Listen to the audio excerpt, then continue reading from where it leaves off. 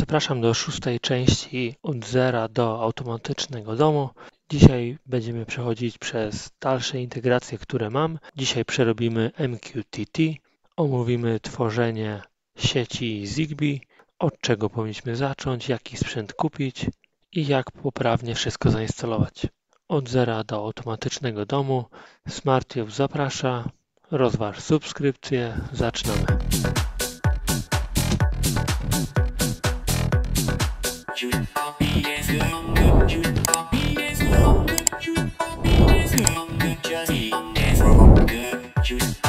Przechodzimy do moich ustawień, wchodzimy w integrację i to wszystko już przeszliśmy i kolejne mamy MQTT. Tylko, że tutaj MQTT to nie jest integracja, którą dodałem, tylko to są urządzenia, które są dodane przez, przez dodatek, więc przejdźmy do dodatków, które mam zainstalowane, aby móc mieć te urządzenia, które działają po MQTT, ale w sieci Zigbee. Więc wróćmy do ustawień. Tutaj wchodzimy w dodatki i zaczniemy od instalacji Mosquito, Mosquito Broker. I Mosquito Broker znajdziemy w sklepach z dodatkami. Jest to dodatek, który jest od początku, więc wchodzimy w niego. Tu będziemy mieć zainstaluj, instalacja, instaluj. Po zainstalowaniu nie odpalamy go jeszcze i jak już mamy zainstalowane, no to wchodzimy w konfigurację. Tutaj możemy już to uzupełnić. Wpiszcie sobie jakiś login i hasło w takim formacie. Tutaj, jak widzicie, opcję ja mam wyłączoną. Full chain to już powinno być wpisane, private key też powinno być wpisane, customize active false i folder mosquito. I tak jak tutaj widzicie, coś tutaj zmienicie w tej części, tu musicie, albo tutaj, to musicie zapisać tutaj. Czyli w opcjach, jak coś zmieniacie, to tutaj klikacie zapisuj, a nie na przykład sieć, to tu widzicie, tu jest też zapisz. Więc pamiętajcie, żeby to zapisać. Ja akurat też coś zmieniałem, potem okazało się, że nie kliknąłem zapisz i no nie działało mi wtedy. Ale dobra, jak to mamy już uzupełnione, no to możemy wyjść i kolejną rzeczą, którą będziemy musieli zainstalować, to jest Zigbee 2 MQTT. I Zigbee M2 e, MQTT nie jest dodatkiem, który od razu mamy w Home Assistant, więc musimy dodać jego bibliotekę. W opisie filmu dodam link do GitHuba do Zigbee 2 MQTT oraz do tego dodatku, który trzeba wpisać, żeby on tu się pojawił. Wchodzimy w repozytoria, dodajemy tutaj nowe i wpisujemy e, i tu e, trzeba wpisać ten adres, dodaj i nam pojawi się Zigbee MQTT. Widzicie, to jest ten adres, który tutaj wpisałem, kliknąłem dodaj i pojawia się tutaj to w dodatku.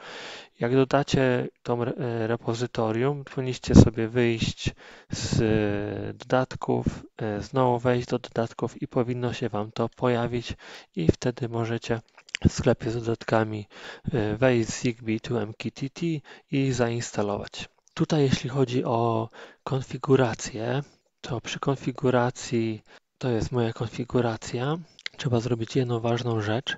Jeśli chodzi o serial, port, tu będzie trzeba wpisać nazwę urządzenia, które podłączycie, na przykład do malinki lub tak jak w moim przypadku do e, Think Center e, Lenovo i ja będę przedstawiał Wam, jak to zrobić na moim, na moim przypadku, czyli na, nie na malince, tylko na e, Think Center Lenovo.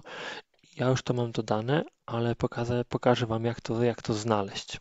Jak odpowiednio dodać na tym naszym mini e, PC, żeby wszystko działało dobrze, żeby na Prox, e, Proxmoxie było widać naszego, e, naszego dongla, którego zaraz pokażę wszystko o co chodzi. Ale dobra, to wtedy powiedzmy, że już mamy to zainstalowane. Tego jeszcze nie uzupełniamy, bo nie wiemy co, więc aby nasze Zigbee 2MQT zadziałało, potrzebujemy mieć centralkę sterującą. W tym przypadku jest to Sonoff ZB Dongle Plus E i to urządzenie Wam polecam, sam to używam. Nie jest ono jakoś super drogie, ale radzi sobie bardzo dobrze i działa od razu po od razu po podłączeniu, nie trzeba nic instalować. Więc to jest bardzo dobre rozwiązanie i jest to urządzenie, które będzie, do którego będą łączyć się urządzenia z sieci Zigbee. Jest to taki koordynator, sieci się tak nazywa. I ma, mając już e, to urządzenie, link Wam wrzucę również w opisie aukcji, mając to urządzenie podłączamy go do USB, czy malinki, czy do naszego mini PC, ale nie bezpośrednio, najlepiej na jakimś przedłużaczu. Jeśli chodzi o przedłużacz, to polecam Wam na przykład 3-metrowy przedłużacz lub nawet dłuższy, jeżeli w zależności jak Wam, ile macie miejsca, gdzie chcecie to położyć, ale najlepiej, żeby ten dongle, ta centralka sterująca była w jakimś takim centralnym miejscu, chociaż nie jest to y, wymagane.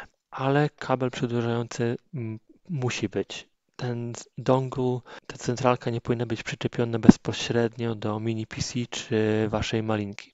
Więc te dwie rzeczy musimy zakupić, żeby stworzyć, y, żeby w naszym Home Assistant działało Zigbee to MQTT. Jak już mamy te dwie urządzenia, no to podłączamy, na, podłączamy kabel, najpierw przedłużacz, potem do tej końcówki podłączamy naszą, naszego dongla Sonofa i jak już to mam podłączone, to wchodzimy w Proxmoxa i w Proxmoxie, aby w Home Assistant był widoczny nasz dongle, to musimy dodać dla naszego HA, czyli dla naszego środowiska e, Home Assistant, musimy dodać nowe urządzenie USB. I tu klikamy na HA, potem Hardware, Add i USB Device. W USB Device będą, co ja akurat też mam dodane, ale jak wejdziemy w USB Device, no to wtedy tam ten dongle powinien się pojawić. Tak jak widzicie tutaj mam, wybrałem tam po utworzeniu, dodaniu nowego USB, wybrałem USB i tutaj mogłem wybrać co. I ładnie podpowiedziała się nazwa, co w ogóle to jest, czyli Sonos Zigbee 3.0 USB Dongle Plus. No i po prostu to wybrałem OK i mam. I teraz dzięki temu nasz dongle jest widoczny w Home Assistant. Bez żadnych problemów, wszystko jest widoczne, wszystko będzie prosto działo. Więc jeżeli na Proxmoxie przypisaliśmy tego naszego dongla do tego USB, to już tu mamy wszystko załatwione. Te rzeczy mamy załatwione, więc możemy wrócić do Home Assistant. I teraz ta nazwa, no nie wiemy skąd, y, nie wiecie skąd to jest, ale żeby tą nazwę dostać, musimy wejść w ustawienia, system, system sprzęt, cały sprzęt i będąc e, w całym sprzęcie schodzimy na dół, aż dojdziemy do takich e, kluczowych słów e, USB i widzimy tutaj, że właśnie to jest nasz, nasze, nasz dongle, który podłączyliśmy. Jest on widoczny. Gdyby on nie był jeszcze widoczny po dodaniu tego USB w Proxmoxie, to może zestartujcie Home Assistant i potem on powinien być. No i teraz mając to, to kopiujemy identyfikator, czyli całą tą ścieżkę kopiujemy i wracamy do naszych dodatków, do Zigbee to MQTT i w konfiguracji wklejamy tutaj tą, e, tą nazwę, którą, tą, tą ścieżkę, którą, którą skopiowaliśmy w sprzęcie. Jak już to mamy zrobione, no to nic więcej nam chyba nie pozostało jak e, Oczywiście zapisujemy tutaj, wracamy do, do wszystkich dodatków. Yy, możemy najpierw ospalić Mosquito Broker, czyli wchodzimy w Mosquito Broker, robimy uruchom. To jak to zostanie uruchomione, to następnie przechodzimy do Zigbee 2 MQTT i tutaj, i tutaj również yy, bierzemy uruchom i jak to się już uruchomi, no to mamy wszystko gotowe aby dodawać urządzenia, które działają po sieci Zigbee, po protokole Zigbee. Polecam Wam dodać do bas, paska bocznego y, ten dodatek i jak już na przykład będziemy mieć już, będziecie mieć już jakieś urządzenia Zigbee, no to co musimy zrobić? Wchodzimy w ten dodatek i musicie dane urządzenie dodać do dodać, wprowadzić w tryb parowania. Jak już macie tryb parowania, albo nawet już przed e, wprowadzeniem w tryb parowania, bierzecie permit permit join i wtedy wasz koordynator, czyli ten dongle, będzie nasłuchiwał i wyłapywał ten sygnał, który to urządzenie będzie teraz e, w, w trybie parowania i dołączy do siebie to urządzenie i będziecie mieć je w sieci. Jak widzicie, ja już mam sporo tych urządzeń e, dodanych, ale to jeszcze nie jest wszystko. Będziecie, jak będziecie dawać tą sieć, to są w niej urządzenia, które są routerami, czyli mogą pośredniczyć w przekazywaniu informacji czy statusów, zmiany statusów, ale są również tylko takie urządzenia, które tylko wysyłają jakieś e, powiadomienia, informacje. I teraz, jeżeli jest to urządzenie, które jest na baterię, to będzie ono tylko wysyłało informacje, ale jeżeli jest to na przykład najczęściej te urządzenia wtedy tak działają, są to na przykład rzeczy, które są podłączone do prądu na stałe, to wtedy one też mogą przekazywać informacje z sensorów do koordynatora. Teraz pokażę Wam e, moją mapę. Będzie ona tutaj, e, klikam na map i biorę load map. Ona troszeczkę się ładuje, ale Wam to pokażę. I to jest moja mapa urządzeń. Na, na, I tak, to jest ta gwiazdka, to jest koordynator, czyli dongle, znowu dongle. Do niego są, do niego są podłączone jakieś sensory na zielono, czyli są te sensory, które są już końcowe, do nich nic się nie może podłączyć, a inne niebieskie urządzenia to są takie, które również też mogą odbierać informacje i przekazywać do koordynatora, czyli są routerami, a te zielone nazywane są jako końcowe urządzenia. I ok. I teraz bardzo ważna rzecz, którą może trzeba było też wcześniej wspomnieć, ale jeżeli macie sieć Wi-Fi 2,4 GHz i y, Zigbee, to mogą one między sobą rywalizować. I to jest ważne, żeby ustawić kanały Zigbee i kanały Wi-Fi y, jak najdalej od siebie. I teraz jeżeli macie, no zakładam, że macie sieć Wi-Fi, no to Najlepiej jakbyście zmienili kanał swojego routera na kanał, y, na kanał pierwszy. Y, wchodzicie, najczęściej to są ustawienia przy sieci Wi-Fi. Musicie wejść na swój router, na przykład y, mm, często jest 192, 168, 1.1, tylko ten jest na przykład u mnie, jak widzicie, i tam możecie ustawić po jakich, na jaki kanale ma działać Wi-Fi. Czyli ustawiacie na przykład na kanał pierwszy, a jeśli chodzi o Zigbee, to tutaj również może, y, musicie zmienić kanał, na którym działa wasze, wasze Zigbee. Wchodzimy w Settings i potem Advanced. Tutaj możemy zmienić kanał. I najlepiej, żeby ten kanał właśnie był też oddalony.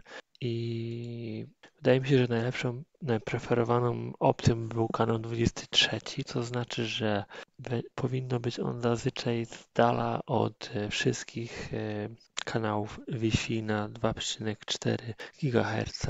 Najczęściej używane kanały na, na Wi-Fi to 1 i 6. Teraz jeżeli jest 1 i 6, to najlepszym był chyba 23.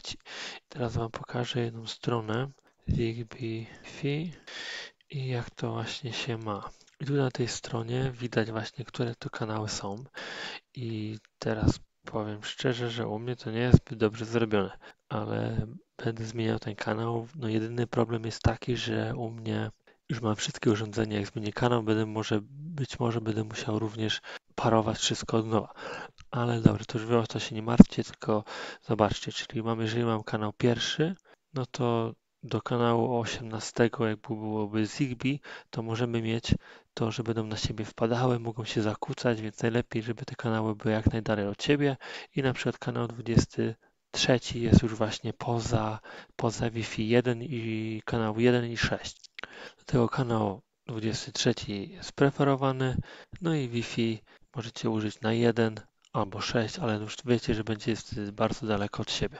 Ja na przykład mam dwa routery, więc na przykład jeden router bym zrobił sobie na 1, drugi router na 6 i Zigbee na 23 i jesteśmy już wtedy w sieci, która będzie sobie bardzo dobrze radziła zarówno Wi-Fi i Zigbee. Więc tutaj ten Zigbee channel sobie ustawiamy na 23 i jak już mamy 23, no to dodajecie sobie urządzenia, na przykład polecam Wam czujniki ruchu, temperatury, otwarcia drzwi, e, okien. No jest naprawdę spory, spory wybór.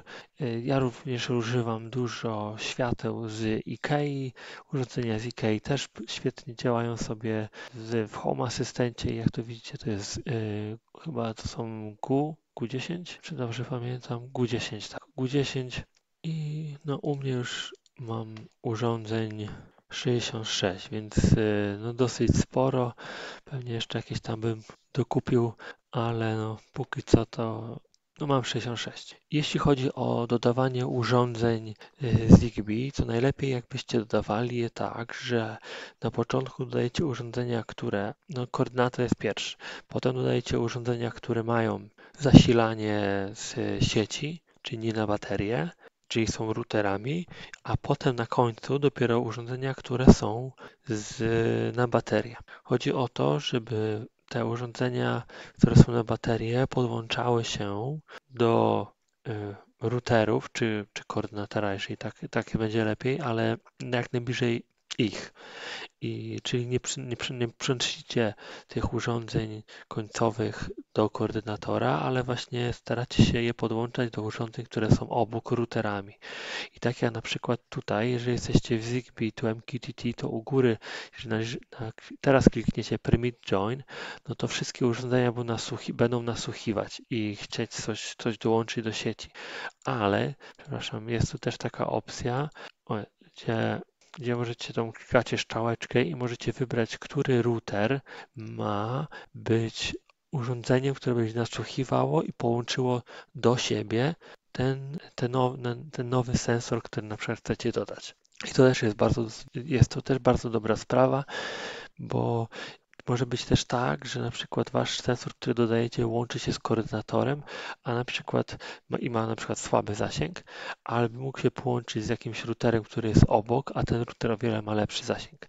I właśnie to służy, wybór tutaj tych urządzeń służy temu, żeby uzyskać jak najlepszy zasięg dla końcowych urządzeń poprzez wykorzystanie y, drogi przez, przez router czyli urządzenia, które są podłączone do sieci, mają stałe, stały prąd. Przy budowaniu sieci Zigbee warto wspomnieć o jeszcze jednym urządzeniu, które można kupić. I tak jak przy sieci Wi-Fi występują repeatery, tak przy Zigbee również są takie repeatery. I, I taki repeater wygląda jak na przykład tutaj, który mam dla Was do zaproponowania. Jest to po prostu pinany do USB taki stick i służy on jako repeater sygnału, z tym, że jak mówiłem, możecie również zastosować na przykład jakieś żarówki, które są też wpięte cały czas podłączone do prądu lub na przykład gniazdka na Zigbee. Takie gniazdko również będzie służyło jako repeater i urządzenia będą, będą mogły się do niego do tego podpinać. Zresztą, co mogliście widzieć na mojej mapie sieci Zigbee, tak jak tutaj na niebiesko, czyli e, routery, czyli repeatery sygnału otrzymują wiadomości od innych czujników i następnie to jest przekazywane do koordynatora. I też tutaj to urządzenie jest właśnie jednym z takich repeaterów, które mam. Ten akurat jest z IKEA, ale widać, że połączyły do niego się cztery, dobry sygnał i on przesyła dalej to do koordynatora. Jeżeli nie chcecie zastosować albo nie macie możliwości zastosować jakiegoś światła, czy nie chcecie stosować gniazdka inteligentnego, no to w takim wypadku polecam te repeatery na USB i to też warto wiedzieć, że takie coś istnieje. Jeśli chodzi o Zigbee to MQTT i jak tutaj to wszystko wgrać sobie w Home Assistant, no to to by było na tyle z mojej strony. Jeżeli macie jakieś pytania, jak ja sobie tutaj poradziłem z tym wszystkim, no to piszcie w komentarzu. Dzięki, że jesteście ze mną w tej przygodzie od zera do automatycznego domu. Zapraszam do subskrypcji, a póki co to dziękuję za oglądanie i do następnego razu.